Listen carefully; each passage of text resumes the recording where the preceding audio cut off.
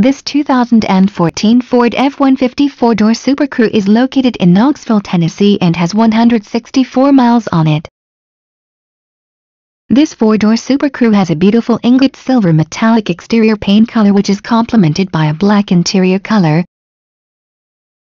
For more information on this great four-door Supercrew, please click the link below.